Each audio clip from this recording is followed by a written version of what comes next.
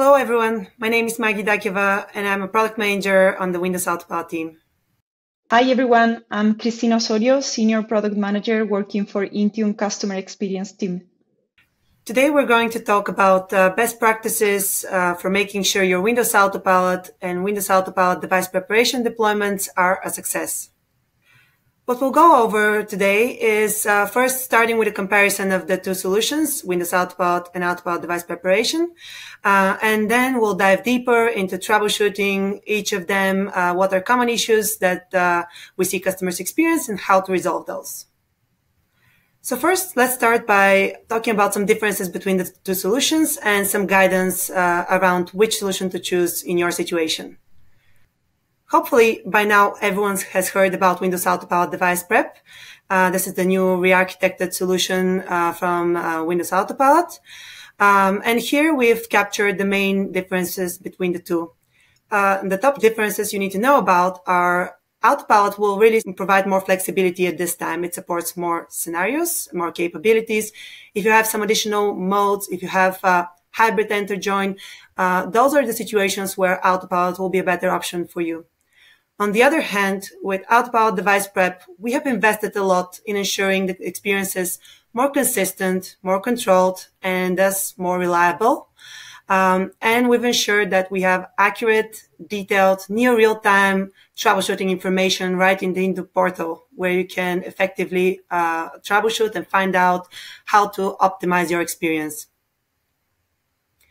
Uh, some other key differences here are within the setup process. With Autopilot, you traditionally have to set up the deployment profile as well as the enrollment status page, uh, and optionally target those to dynamic Entra ID groups.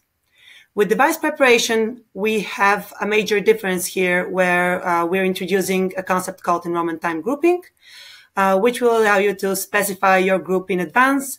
And all you need to set up is a single device preparation policy, um, as opposed to the two different policies with Autopilot. Another key difference is around the apps delivered. With device preparation, we can support in parallel line of business apps, Win32 apps, Windows uh, Store apps, and up to 10 uh, PowerShell scripts. And finally, another key difference we have here is around troubleshooting, where we've really enriched the troubleshooting for device preparation and made sure you have more information the data is more real time and helping you troubleshoot more effectively. Based on this, make sure you uh, you pick the right option for your environment. Uh, the key thing is if you have new devices that you're planning to deploy cloud native, consider device preparation solution. And now we'll jump into troubleshooting tips for each of these. Thank you, Maggie. So as we said at the beginning of the presentation, our goal uh, for this session is to share with all of you some of the best practices around Windows Autopilot and Autopilot device preparation. So let's start with uh, Windows Autopilot. Uh, we wanted to bring attention to a few known issues that are well documented, but we still hear customer escalating issues uh, to us. So Let's get started with autopilot registration issues. Uh, we heard some customers that observed that uh, some of their autopilot devices had been deleted from the list of uh, autopilot devices in Intune. And we often hear that it was the OEM or the partner that unexpectedly deleted the, these objects um, we also heard about uh, issues during or after motherboard replacements. Uh, we have a very well documented process, uh, so please follow these steps if you are encountering uh, any issues after a motherboard replacement. Uh, the first step is to deregister the device from autopilot. And if it was registered via Intune, please deregister it via Intune. And if it was your partner or your OEM who registered it, uh, please ask them to, to do so. Then replace the motherboard, capture the hardware hash again, and re-upload it to uh, to Intune, so your device will be re-registered in the autopilot uh, service for you. So please uh, follow these steps uh, in case of a motherboard uh, replacement. The last uh, common issue around uh, registration is if you observe a few of your devices or some of your devices in fixed pending or attention required uh, status. Here, the recommendation is to re-register again the, the device. Uh, we know that previously we had uh, shared some situations where you could uh, wait for an auto remediation, but now the recommendation that we are sharing is to re-register the device. Moving forward, uh, troubleshooting uh, enrollment status page is another common topic that we have to discuss with our customers uh, sometimes. Uh, one of the uh, common error codes is the one that is showed here in the first line. In case you see this error, uh, there are a couple of things that you can check before going any further. The first one is to um, review your enrollment restrictions uh, rules and make sure that also your uh, MDM enrollment is allowed for, uh, for this device. And the second one, if you are unable to complete self-deployment or pre-provisioning uh, enrollment, go back to your autopilot device list and select the unblock device option and try to re-enroll the device again. Second topic on uh, enrollment status page is uh, the uh, web signing option missing or not appearing after pre-provisioning completes. the first thing that we recommend you to go check is go see if the device password policies are set to not configure because it can cause uh, here a side effect or an unwanted behavior. So uh, please review that configuration. And we wanted also to take the opportunity to share a link uh, to uh, other known policies that can cause uh, side effects or undesired behavior during autopilot. Uh, they are well documented, but we sometimes find that customers don't uh, don't go back to this documentation and check it. So uh, please uh, take a look at that. And the third one um, is required applications not showing uh, on the ESP after autopilot reset. This is a known issue and required apps will be installed after the user signs into the desktop. Uh, so please uh, bear this case in mind. And the final topic for autopilot we'll go through is troubleshooting uh, deployment profile download uh, failures. The first step is making sure your autopilot profile is properly assigned.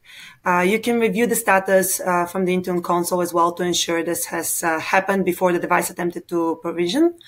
Um, then the second step, if you've ensured everything is assigned properly, is to look into the JSON file, which is downloaded during OOBE. It includes a lot of metadata that will help you identify the reason for the failure. Uh, the next step here is also consulting the event logs and checking to see what uh, error you, you see, which can indicate a different type of issue. So in the next slide, we'll go over um, the different error codes. So the first one here indicates typically a hardware mismatch. Often this happens uh, when the device was not properly deregistered. That's uh, common if there were motherboard swaps uh, and the device registration was not cleaned up. A step you can take here is to re-register the device and attempt to re-enroll it. The second error is when the device was not registered. Uh, you need to validate that the device's hardware hash was properly uploaded in Intune, and you need to validate that you have the deployment profile assignment as well. If you find out that the device was not indeed registered, then make sure you do correct this. You can collect the hardware hash, upload it in Intune, and start from there. The next one, 809, indicates that the signed profile does not exist. Uh, here, one thing you can try is assigning a different autopilot profile and attempting to re-enroll to see if that resolves the issue. And the final error we'll go over is when no profile was assigned to the device uh, and there was no default profile assigned as well. In this case, you need to make sure there is a profile assigned to the intended device. And next, let's move to troubleshooting Windows Autopilot device preparation. So this is a new solution we've introduced recently in the summer of last year. And uh, many aspects of it are still not uh, known to many of our customers. So we wanted to take um, a, a, minute here and go over the flow step by step. Show you a little bit of the backend and how things are set up. So the first four steps you see here are the prerequisites, things you need to make sure are set up, ready to go in advance before you start your deployment. the admin will be setting up their uh, security group, device security group, and including that in the device preparation policy. The device preparation policy also serves uh, as a way to clarify which apps you want to make sure are coming down during the OOBE onboarding process. Obviously, all of these apps need to be assigned to the security group specified as well uh, to ensure that they do indeed get delivered. The next important step is making sure you start with a device that has not been registered for Autopilot. If we do detect the registration, the device will always go through Autopilot and not Autopilot device preparation. Next, ensure you have a reliable network and uh, you have a device ready with Windows 11 uh, Pro and above, so Pro or Enterprise. What we support, as you know, is Entra join only. So what happens in the onboarding process after the user provides their credentials, we perform that Entra join and enroll the device. At this point, we'll install the Intune management extension and perform an MDM sync, which will um, trigger the delivery of policies, deliver of line of business apps, and then 365 apps. Now this part is very important. We are serializing how policies, scripts, and apps are delivered. And this is a key difference between Autopilot and Autopilot device prep. Why we went with this design was because we wanted to make sure things are delivered in a more controlled way and users get a consistent experience and there are no conflicts between the apps. As you might know, with Autopilot, you cannot really set line of business and Win32 apps at the same time because that's prone to errors.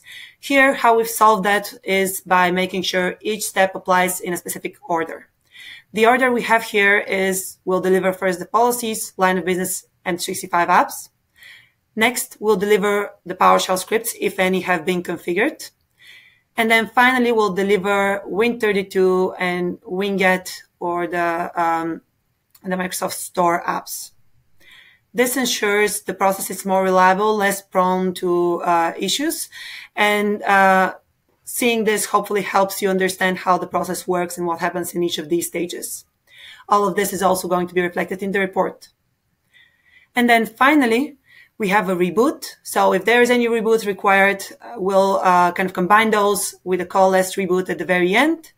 We'll complete the OOBE process show Windows Hello for Business if configured for your tenant, and then let the user go to the desktop. At which point, any additional apps, scripts, policies that have not been set in the device preparation policy will get delivered to the user. And the user is ready to start, uh, to start their work. Now let's go over common issues for outbound device preparation. Thank you, Maggie, for the amazing overview of device preparation flow. So yeah, let's go through uh, some of the common issues or, or topics that we uh, see for device preparation. Just uh, for starters, uh, we recommend you to always uh, see the um, the report for device preparation that is under device monitor we have added a lot of information around the deployment flow and you will find very useful information as for example the phase where your autopilot process was left before a potential failure. Um, so uh, please uh, make sure to um, to check the report before uh, before going any further. We have also a list of known issues that uh, you can go back and refer to uh, if needed uh, to to get some ideas for for troubleshooting the second part uh, we wanted to comment here is around uh, troubleshooting applications and scripts. A lot of things that you will see in this list apply also for Windows Autopilot, but uh, for some reason we need to remind it to, uh, to, our customers using device preparation now. Your applications will need to be uh, deployed to the group where the device uh, will be placed and also check that all the detection rules and the rest of uh, the dependencies for your applications are working correctly outside of autopilot as well as all those will apply during autopilot and during device preparation process. Um, so uh, make sure that all this is in place. Make sure that your scripts also work outside of device preparation and make sure that there are no network issues and review the endpoints are accessible uh, from your from your device before starting device preparation uh, process.